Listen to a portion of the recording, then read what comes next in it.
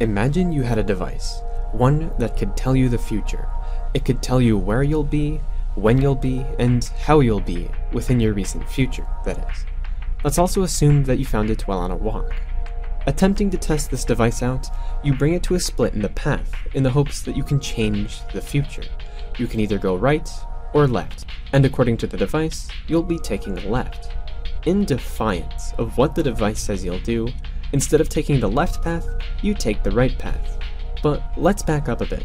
If this device could truly tell the future, wouldn't it already know that you would attempt to change your future? Yes, and in that fact, it would have displayed that you were going to take the right path instead of taking the left path, as it used to say. But if it were to initially show that you were going to take the right path, you would have chosen the left path. Point being, you, the person using this device, will always choose the path that's opposite to the one the device shows you. So the true question is, which path would you end up taking, the right or the left? This is what I call the future telling paradox.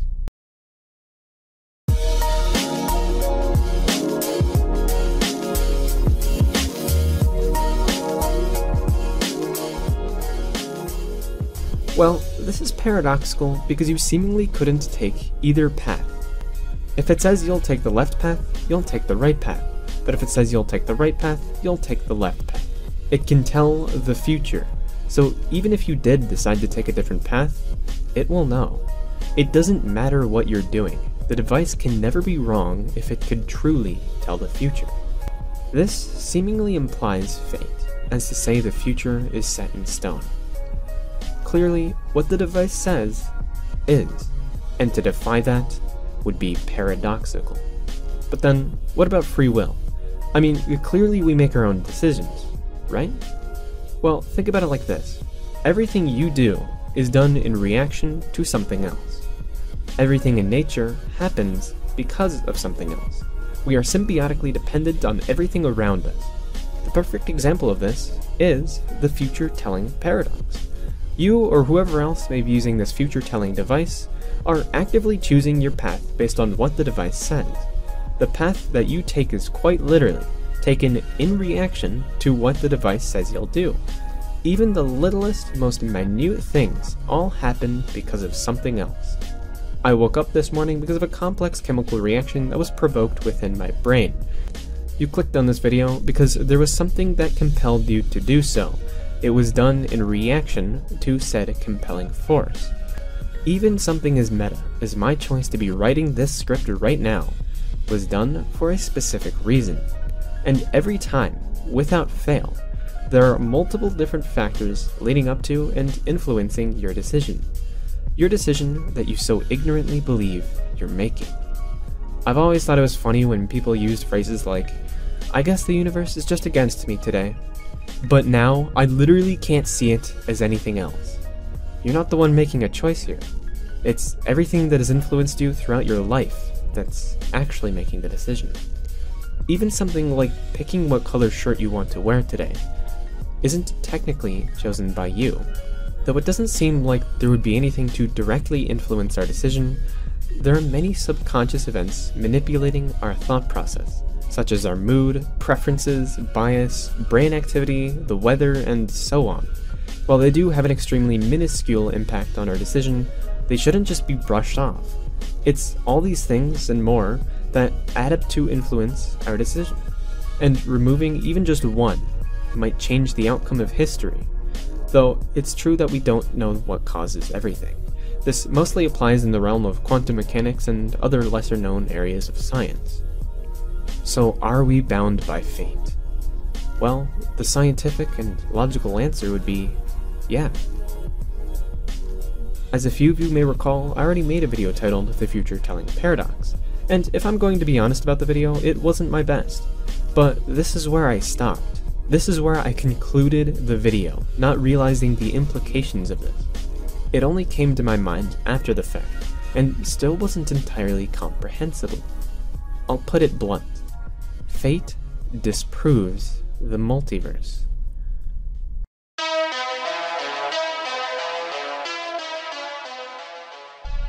For the few unaware of what the multiverse, many worlds theory, or multiverse theory is, let me take a minute to explain. The idea is that there are infinite different worlds and universes that are very similar to ours. And for every choice made, there is a new universe created. If I were to choose between a blue shirt and a red shirt, there would be two different universes created for each decision, one where I choose the red shirt and one where I choose the blue shirt. Supposedly, this applies to every conceivable decision and possible outcome ever made throughout history. You may have heard people say things like, in a parallel universe, I would be a millionaire, and this derives from the multiverse theory. The whole concept of there being a parallel universe to ours is used in theory, fiction, science, philosophy, theology, and other similar topics. It's popular. If free will is paradoxical, then fate is fact. If fate is fact, then the multiverse can't exist. Let me explain. As I already described, every decision we make, and beyond that, everything in nature, happens because of something else. Everything that happens, happens in reaction to other things. A large part of the multiverse theory is based on free will. For new universes to be created, we need to have the freedom of choice.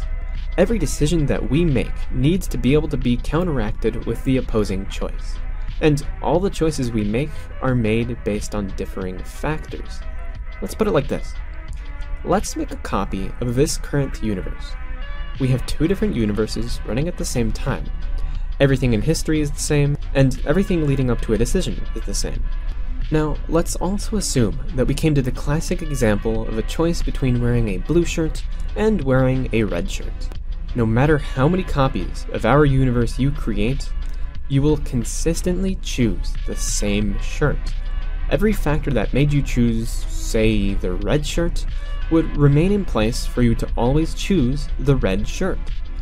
To assume that we would choose the blue shirt in an alternate reality is to assume that the factors leading up to this decision wouldn't be in place, as if history didn't happen at all, or at least happened in a different way. Let me give an example of a choice that's not as subconscious. Let's assume that you had to choose between fruit and vegetables. If your choice was fruit in one universe, then it should be the same in all universes. The only way to bypass this is to change your preference by rewriting your entire history, and your parents' history, and their parents' history, and, well, here's the second issue with the multiverse.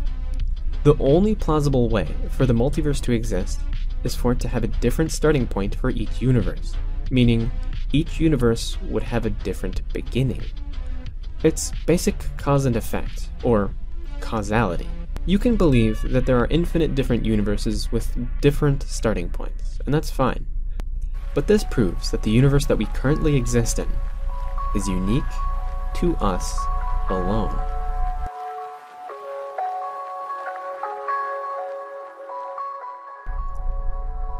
Hmm.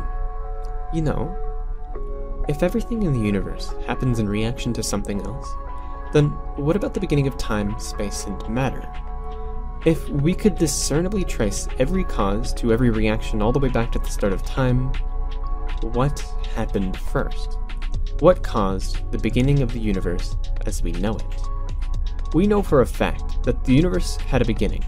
If we've been around for infinite years, then we would already be stuck in something known as the heat death, the equalization and even distribution of all matter and energy, which is caused by entropy or the second law of thermodynamics. Anyway, point being, time, space, and matter had to have started from something, no matter what you believe, whether you think the world was created by God 6,000 years ago or 3 billion years ago from the Big Bang, you have to admit there was a beginning. And my question is, what was the cause for the first reaction? Any logical person knows that 0 doesn't equal 1. Something can't come from nothing. And we haven't once been able to prove that it can within nature. So, did something, or someone, help us begin? Were they the cause of the first reaction? And does this prove it? To many, it might, as the only logical time we have ever concluded that 0 equals 1 in our natural universe is when the universe began. Everything happens in reaction to something else. So to say that a universe can just begin on its own in reaction to, well, literally nothing, is illogical. If nothing exists, then all that can continue to exist is nothing.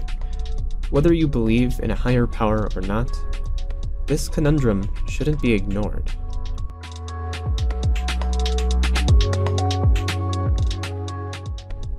If the future telling paradox is correct, and I didn't mess anything up, then it's truly surprising how much this leads to. And as a side note, not to ruin the Mandela effect for anyone, but if alternate realities, as I've described them, can't exist, then there's no real way for us to have memories from this so called parallel universe. But that can just be left up to debate, I suppose. And another thing I didn't go into is the consequences of there being a higher power. But I think that strays too far off topic. To conclude this video, I'd like to say one more thing about the topic of fate. If it ever concerns you that your decisions aren't actually decisions but reactions, this might be something to take into consideration. While it is true that your actions are made in reaction, they're still yours to make. And based on causality, the actions that you take will have an eternal effect on history. So, in that sense, you and your essence as a being will live on for eternity.